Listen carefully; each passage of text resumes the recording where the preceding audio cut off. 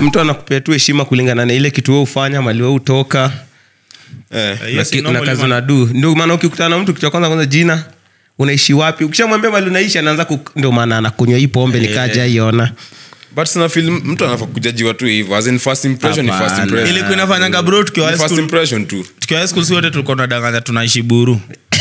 Unajua hiyo time buru buru. Ah, buru buru.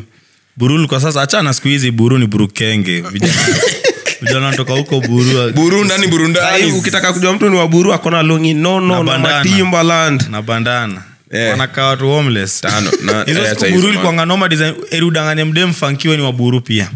Eh. Hiyo ukae sasa Eh, eh, sasa bro utasema busia bro butula bwalrosa village bwana. Kanoma kuwasika hizo ni